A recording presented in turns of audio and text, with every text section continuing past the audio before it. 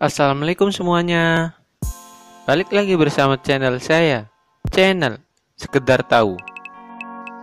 Bahasa Indonesia memang jadi bahasa nasional orang Indonesia. Walaupun hanya sebagai satu-satunya bahasa nasional di negara Indonesia, tapi nyatanya ketertarikan orang lain pada bahasa Indonesia itu sangat besar. Bahkan empat negara dunia ini ternyata juga pakai bahasa Indonesia loh. Yang pertama, Malaysia. Sudah bukan rahasia lagi kalau bahasa Melayu dan bahasa Indonesia memang mirip banget. Jangan heran, karena masyarakat Malaysia dan Indonesia sama-sama menggunakan bahasa Melayu modern untuk berbicara sehari-hari. Secara lebih jelasnya, bahasa Indonesia sendiri terbentuk dari perpaduan antara bahasa Melayu dan Belanda.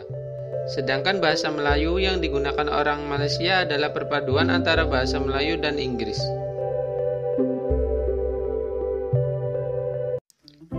Yang kedua, Brunei. Kalau kita teliti, sebenarnya orang Brunei Darussalam juga menggunakan bahasa Melayu atau Indonesia dalam percakapan sehari-hari.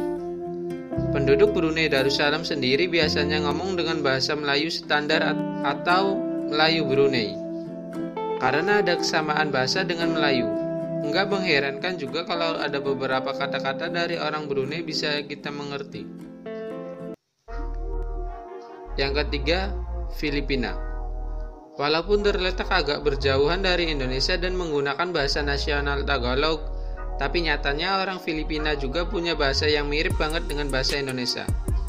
Ada alasannya kenapa bahasa Tagalog ternyata bisa mirip bahasa Indonesia. Pada abad ke-15, orang Filipina menggunakan bahasa Melayu untuk berbicara dengan kerajaan di Brunei, Malaysia, dan Indonesia.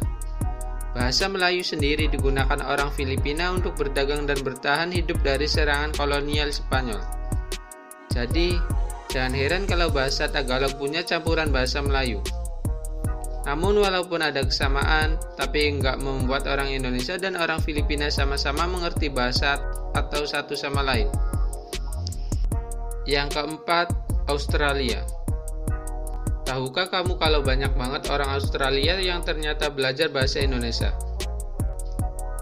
Bahkan, bahasa Indonesia jadi salah satu dari tiga bahasa Asia utama yang harus dipelajari oleh orang Australia.